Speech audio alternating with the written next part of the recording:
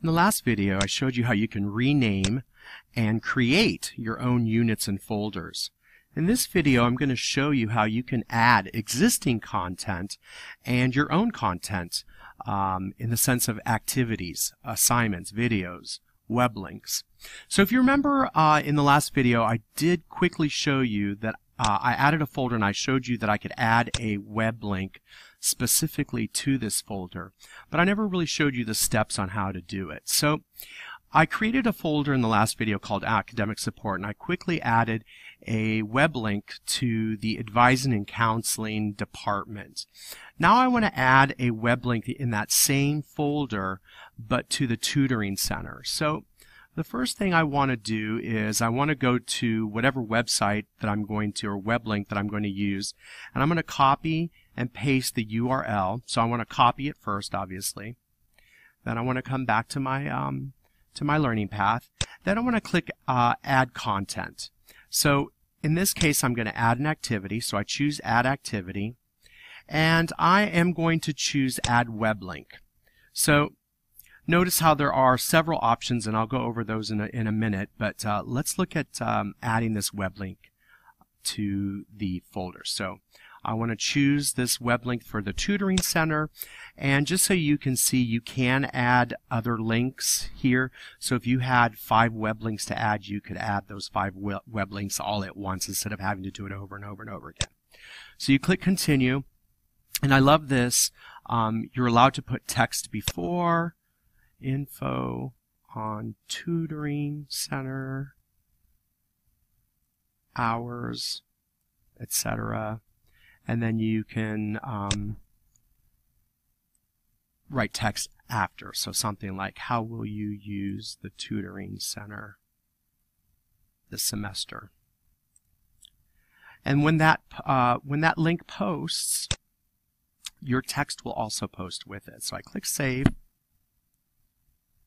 and then I decide where I'm going to put it, and I'm going to put it in the Academic Support folder. I'm going to click Save, and voila, there it is. Okay? All right, so that's how you add a web link. Very easy uh, to do. I added it specifically in the folder, but I can also add it into the learning path, and I don't have to add it in within a chapter. I can go back to the main uh, to the main learning path where I have changed everything to coincide with the weeks that I teach. Um, and let's say I wanted to add a couple of things that I created myself. So the first thing I want to do is I am going to go into chapter 7, which is the chapter on critical thinking. And in this chapter, I've created uh, a couple of things. I've created a Go Animate video uh, that talks about, um, it's an introduction to critical thinking. So it's kind of what I want students to know before they even start reading the chapter. Uh, then I created uh, on Padlet.com a interactive collaborative activity on uh, 15 common logical errors, and then uh, you will see that I'm going to add also an RSS feed on critical thinking. So the first thing I want to do is add that Go Animate video. So I'm going to go to the Go Animate website, um, and it is a URL as well. Then I go back to MindTap. I click Add Activity, like I did with the other web link, and it's the same deal. I click web link, I add the Go Animate video. I can add text before, I can add text after, maybe some instructions uh, where the text before is, and then maybe uh, some questions or an assignment that I might want students to do uh, for the text after. After I do that, I go ahead and click Save. And uh, I'll go ahead and, since this is an intro to critical thinking, I want to put it uh, before the engagement activity. This is an intro to the whole uh, chapter. So um, we click Save. And there it is. It's after the learning outcome, excuse me, and right before the engagement activity. Next, I want to add the Padlet activity. So I made an activity in Padlet.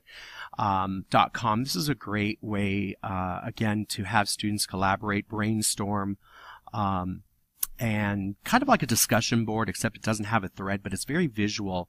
Uh, the students uh, read the the topic. This one happens to be 15 common mistakes in logic, and the directions are to choose one of the 15 mistakes of logic from section 7.5 and give an example um, that is not in the book. And it's very easy. The students just click twice, uh, double click, and then they can write their response. Once they write their response, you will see that it is, um, oops, just by response run. Uh, you can see that uh, they can click out of it and it adds it to, um, of course, it would be longer, a longer response.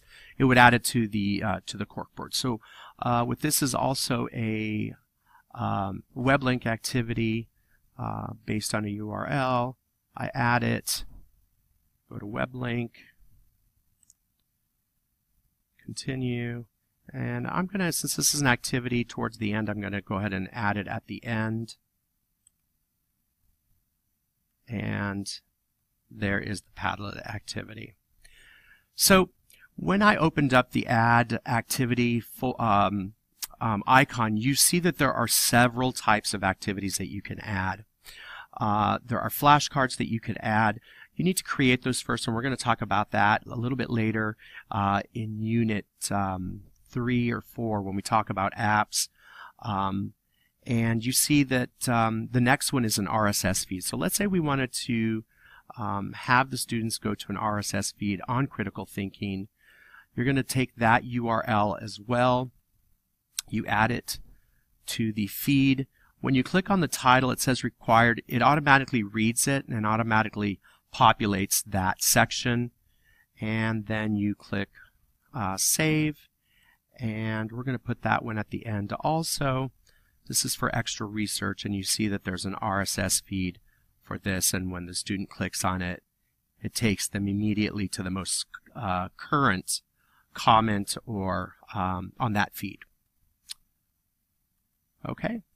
Uh, next thing I want to show you is how to add a YouTube video. So we've partnered with YouTube so that you can search for YouTube videos from right within MindTap.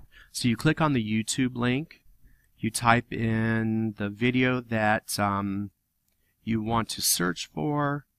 Um, I'm going to look for a uh, TED Talk on future self versus current self by uh, Daniel Goldstein. And here it is. So I already have watched it. Of course, you want to watch it before you uh, post it to make sure that it's appropriate. Um, and then you click continue. And just like any, just like the last activities, you can add text before, text after. You click continue. And I'm going to place this one, um, excuse me, I'm going to place this one, um, let's put it after they've, uh, after, the, after they've read the, the, the activities, or the, excuse me, the chapter. So there it is added with a snap the TED Talk on the battle between your present and your future self. You see uh, in this list of activities something called CNOW and Aplia. These are specific to this course. These um, activities either have to do with the textbook activities or with the homework activities. And this allows you to move or add content. Maybe you want them in two the same content in a couple of chapters. So you can choose some of these activities and add them uh, to your learning path. In the next video i'm going to focus on creating and adding uh, content that you actually create um, whether it be an, an assignment a written assignment or a video that you create on your own um, uh, and things that just in general you you um, bring in uh, into your course. So that will be for the next video, and we'll talk then.